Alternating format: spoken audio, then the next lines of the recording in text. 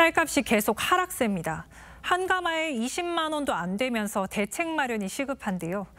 이런 가운데 쌀 최대 시장인 중국에 우리 쌀로 만든 가공식품을 수출하려는 움직임이 본격화하고 있습니다. 쌀값 해결책이 될 수 있을지 중국 현지에서 열린 국산 쌀 홍보 행사를 윤수영 기자가 다녀왔습니다.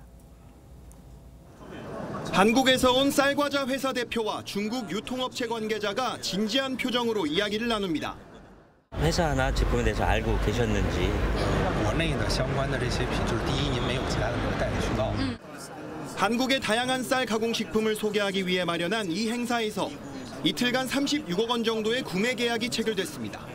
우리 쌀 가공업체들이 해외로 달려간 건 국내 쌀 소비 감소가 심각하기 때문입니다. 국민 1인당 쌀 소비량은 30년 전보다 절반으로 줄었고 생산량까지 늘면서 올해 산지 쌀값은 지난해보다 10% 하락했습니다. 반면 쌀 가공식품 수출은 해마다 큰 폭으로 늘고 있습니다.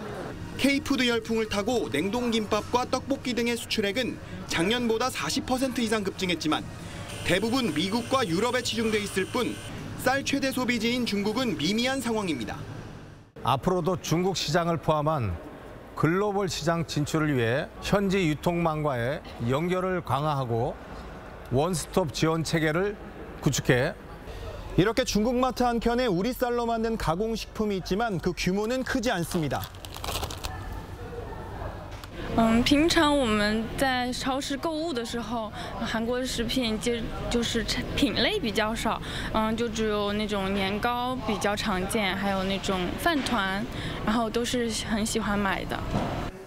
정부는 쌀 가공식품 수출을 2028년까지 4억 달러 규모로 늘려 쌀 재고량을 줄여나간다는 계획입니다. TV조선 윤수영입니다.